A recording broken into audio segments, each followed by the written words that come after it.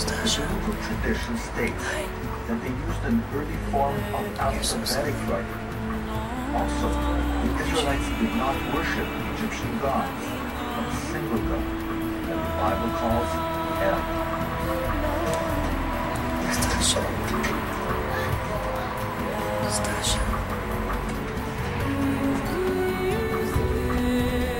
support our new biblical timeline, we needed to find alphabetic inscriptions carved on slaves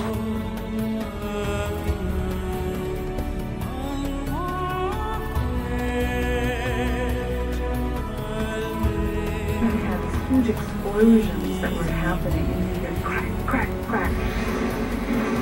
For hundreds of kilometers, people around listening to it. We were getting